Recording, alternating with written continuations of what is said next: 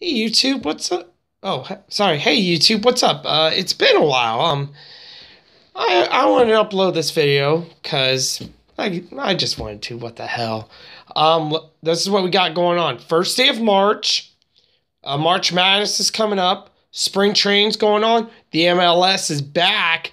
Twenty five years. Um.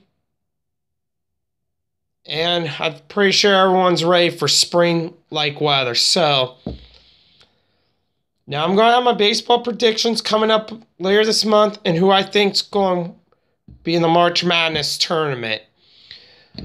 But that's not till later this month. So I just wanted to get this video out and quit. Um, yeah, February was kind of a slow month.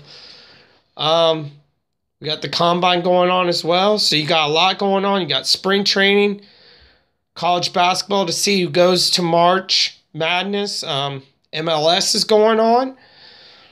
And like I said in this a few moments ago, I'll tell you who I think I'll make my predictions for baseball and my March Madness picks later this month. Before March Madness, okay? Before the March Madness predictions it can be sometime before it starts. So